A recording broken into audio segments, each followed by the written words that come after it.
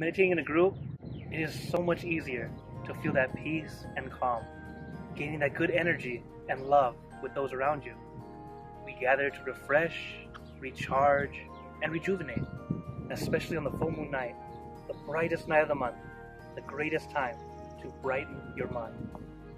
Environment, everything here, just, just very welcoming. Uh, the people, um, the atmosphere, everybody here is just so nice. If you never tried this full moon meditation, I invite you to try it and have the beautiful experience of love.